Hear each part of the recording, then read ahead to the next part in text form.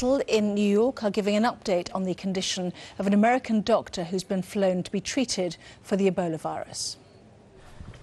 Good evening. A patient came to Mount Sinai's emergency room in the early morning hours with symptoms of fever and recent travel to a West African country. The patient was promptly isolated and placed in a strict isolation facility at Mount Sinai such that we could protect uh, the patient and also any staff and other patients in the facility and all visitors.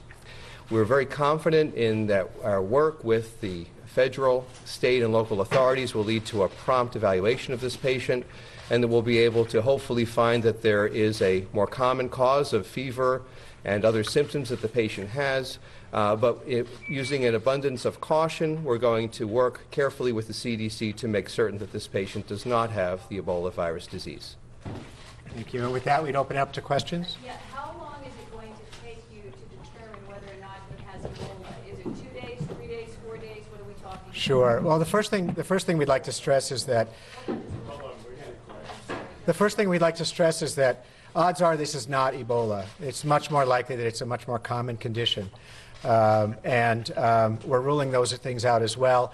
In conjunction with the CDC, who's been guiding us on the testing protocol, we're sending specimens down to them, and we expect a, an answer uh, hopefully in the next uh, 24 to 48 hours, although we can't guarantee it.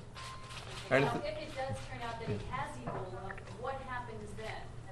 Uh, the treatment of Ebola is a symptomatic treatment process, and so we already have this patient in a special facility where all supportive tr- uh, treatment could be given, as would occur at any hospital in the nation.